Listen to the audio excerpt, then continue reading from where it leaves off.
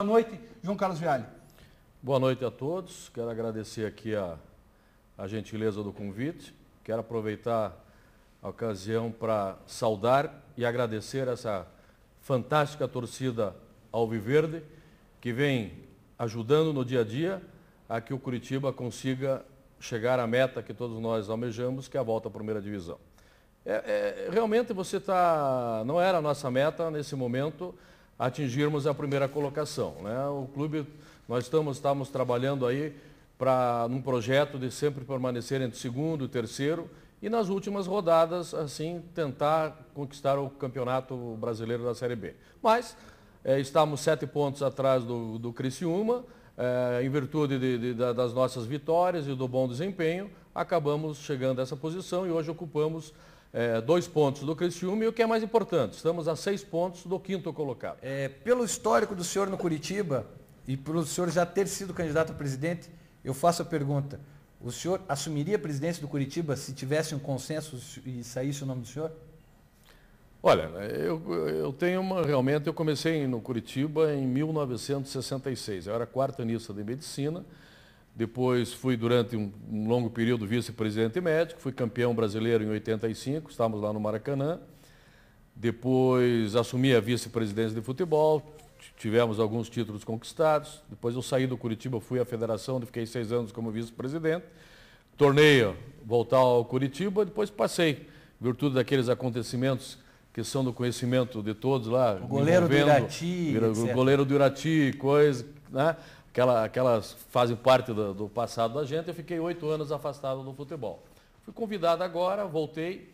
Eu acho que o momento no Curitiba é um momento muito importante e que não é um momento de se falar de política. Né? Qualquer pessoa que queira se candidatar ou se declarar candidato, eu, é primordial que nós estejamos, todos nós, focados na volta do Curitiba para a primeira divisão. Depois que o Curitiba estiver lá na primeira divisão, aí vamos ver, tem, já tem vários candidatos, pessoas que tem passado também de trabalho em prol do Curitiba e vamos ver o que, que pode ser feito. No, no, na minha vida de 40 anos de futebol, que existe dois pontos de vista. O do torcedor, que quer o, o espetáculo, 3 a 0 4 a 0 e quem está ligado ao futebol, que eu quero ganhar de meio a zero, mas quero fazer os três pontos. Porque do início do ano até agora, nós dispensamos, assim, teoricamente, 21 jogadores no Curitiba. E entre esses 21 jogadores, aqueles é, elementos que tradicionalmente eram criadores de caso, criavam confusão, e hoje estão todos fora do Curitiba. Existe uma harmonia muito grande entre o grupo e ele sabe que aquele que é, não compactuar com o que está sendo feito e não colaborar, ele vai ser afastado Poxa. sem problema. E aí tem uma pergunta do Diego para o doutor Viale, perguntando quais são as ações que o Curitiba está fazendo e qual o planejamento para melhorar ainda mais as categorias de base, já que o time principal hoje é formado por muitos atletas formados em casa. Olha, você fez uma pergunta, isso vem, vem é, é futuro do Curitiba, mas partindo de uma hipótese de que a gente permaneça no Curitiba, ou no futebol, ou, ou na direção, é, eu tenho uma ideia, conversava essa semana, de profissionalizar o amador, contratar realmente elementos para fazer do amador é, um setor altamente profissional com a captação do jogador. Eu acho que o futuro de todas as equipes de futebol brasileiro é o investimento na base. Né? Então, hoje você tem o diretor que, por mais que ele tenha é, o seu tempo disponível, ele passa no clube 10 minutos, 15 minutos, que ele tem seus afazeres particulares. Então, isso é uma ideia minha, realmente, de contratar alguém para tocar o departamento amador, como nós gerenciamos hoje o futebol profissional. Doutor Velho, muito você fala que não vale a pena hoje em dia investir na categoria de base por causa da lei Pelé e tudo mais. Tem o caso do Curitiba, no Choco e Raul, que saíram do clube e tal.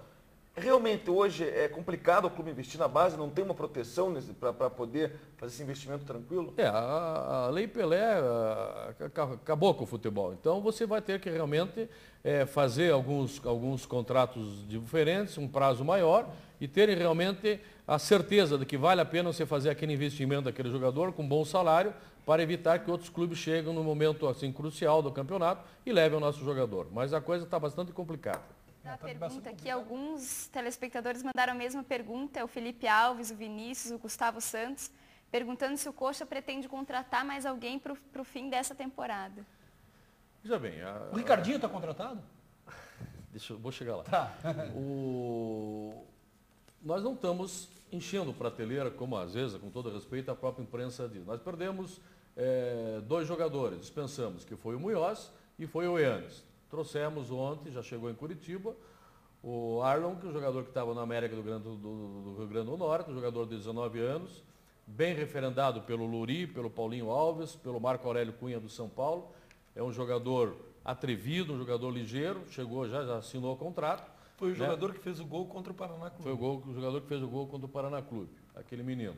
E eu não gosto de anunciar jogadores a contratado, mas já que estamos no programa na televisão, Existe já uma passagem colocada e amanhã às 8h40 deve chegar em Curitiba o Ricardinho, jogador do Botafogo, que já há 15 dias nós estávamos tentando trazer ao, ao Curitiba, tinha sido liberado para o Botafogo, havia uma série de problemas, mas é um jogador que se passar nos exames médicos e assinar o contrato, nós apresentaremos à imprensa na tarde um, dileto, um grande abraço ao nosso dileto amigo Luiz Bettenhauser, do Coxa Nautas, que noticiou a presença aqui do Renê e todo o pessoal da Coxa Nautas que estiveram aqui no domingo passado, né, inédito, três pessoas das torcidas da internet, né, Coxa Nautas, Paranautas, Furacão.com, todos estiveram aqui no Sport Show, a gente abriu esse espaço, vamos abrir também espaço para as torcidas organizadas vierem aqui, venham aqui ao Sport Show, isso é muito legal, é essa interatividade que a gente tem com o nosso telespectador. Nem tudo são flores aqui no Sport Show meu caro João Carlos Viale. Teve aquele episódio que a gente tem que, a gente tem que esclarecer aqui para o torcedor coxa branca que nos assiste em peso,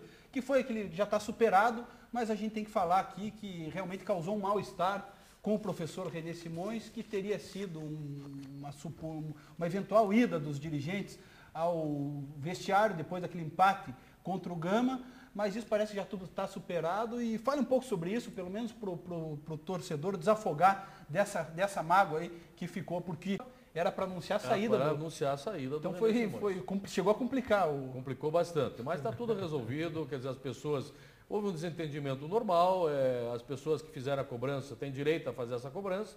Talvez o momento não fosse aquele, mas foi uma, uma coisa do dia a dia do, do, do futebol. Essas cobranças continuam diariamente, quer dizer, eu fiz as mesmas cobranças do Renê durante o nosso, durante o nosso almoço, ele aceitou as cobranças, está bem, está tranquilo, está um pouco preocupado, estava com os problemas familiares, mas essas coisas estão se resolvendo e espero que o Renê tenha tranquilidade para continuar, continuar, com a sua comissão o brilhante trabalho que vem Primeira mão isso, né, Caxias? Não, a gente sabia que essa é, coletiva era para anunciar a saída do é Renê e não foi. É importante. Nosso dileto amigo né, dos nossos telespectadores. O Roberto está perguntando como está a situação contratual das principais revelações, Hugo, Keirson e Henrique, entre outros. E manda saudações lembrado. ao Viverdes. O Hugo tem contrato com o Curitiba até janeiro de 2009, né, teve um salário, um aumento salarial agora. O Keirson também, o Pedro Quem acabou de renovar por mais três anos, e o outro? O Henrique. O Henrique tem contrato com o Curitiba também a longo prazo. O Henrique está em algumas negociações. O Marlos renovou há pouco O Marlos fez, fez, teve a renovação de contrato por mais dois anos. E eu acredito que a partir do ano que vem, alguns jogadores do Curitiba poderão ser vendidos. E essa história de que o Henrique tem, o São Paulo tem interessado no Henrique, existe alguma coisa, não? É, nós temos uma parceria com, muito boa com, o São Paulo, existe o interesse do internacional, existe o interesse é, do São Paulo no, no, no, no, Henrique, mas ainda são coisas que estão em conversação. Participação. O Will foi contratado para formar a equipe no começo do ano, né? Então depois houve aquela, aquele, aquelas vários problemas, 21 jogadores saíram, começamos a fazer as contratações, então o, o problema do Will no Curitiba tornou-se um pouquinho custo-benefício meio caro. Ficou alto. Pouco alto para um clube que já estava praticamente montado. Por isso que Exatamente.